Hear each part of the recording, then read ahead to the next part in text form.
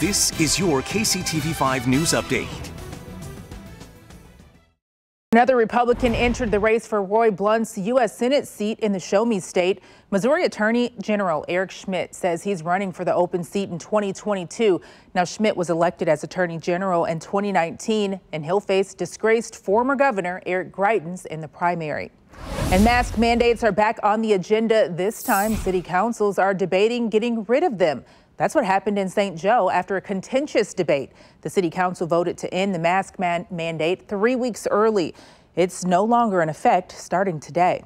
And the same thing happened in Maryville, Missouri, about 90 minutes north of Kansas City. Its city council ended their mask ordinance more than a month earlier than its initial expiration date. We do know the college there, Northwest Missouri State University, will keep its mask mandate in place. And KCTV5 is your school authority. Students in KCK go back to the classroom next week. The Board of Education voted to start in-person learning five days a week on March 31st. KCK is one of the few districts still holding most of their classes virtually. Students do have the option, though, to stay virtual through the end of the year if they choose to. The Shawnee Mission School District may have to tap into its cash reserves to pay the natural gas bill. The district was hit with a $1.6 million charge for February. Their provider, Symmetry, based in Texas and unregulated in Kansas. The district says it will explore legal options before paying. Now, Symmetry also set a $2.4 million bill to KCI. That's 30 times the normal amount. Mayor Quinton Lucas says that they'll try to negotiate with the company. Natural gas prices spiked 100 to 200 fold during February's Arctic blast. So get the lawnmowers ready. Not saying that you'll need to fire it up this weekend, but I have a feeling that more than just a few will actually mow their lawn for the first time this weekend.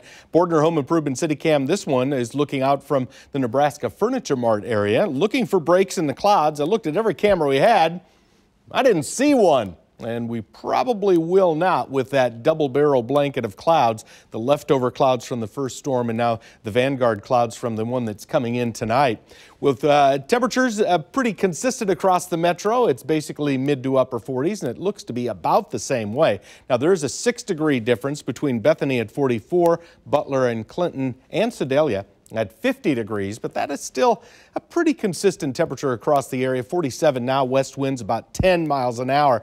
Now that's kind of a lull in the breeze. We've had 20 mile per hour wind gusts throughout the morning, so there is a bit of a breeze outside, and that'll continue this afternoon with temperatures, as you can see, that are, again are ranging mostly in the mid 40s, but we'll improve on that 47 will turn to 51, then 54 by the middle of the afternoon. So today will actually run a little bit cooler than normal. The clouds will have a lot to do with that, and the breeze will make it feel even cooler than that. Here's a look ahead now to your Thursday, 41 degrees in the morning. Kind of a chilly start to the day. That's a see your breath morning, 43 at 9, but we'll improve on that, working up to about 54. Now, here comes the rain. Let's check that out too. Live power Doppler radar not showing any rains close to home.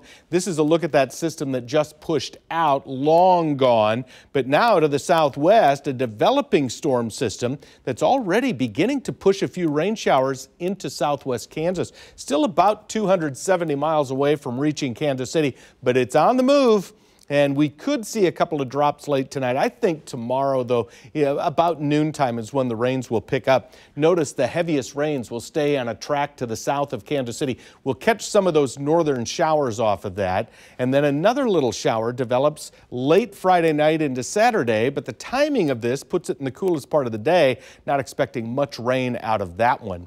Let's check out the rainfall. This is the first rain. This is one that's coming in tomorrow. Could give areas southeast of Kansas City maybe a half to three quarters of an inch. KC picking up a little bit less than a quarter according to this. Then the Friday rains come in. More goes to the north. But again, KC picks up maybe about a tenth of an inch out of that. Security Bank seven day forecast. And you're looking at temperatures today at 54 degrees that'll run all the way into the 60s by this upcoming weekend. So Kelly, we're all looking forward to the weekend. It dries out and it warms up. Turn to KCTV5 News for the latest all day. This is your personalized update because KCTV5 News stands for you.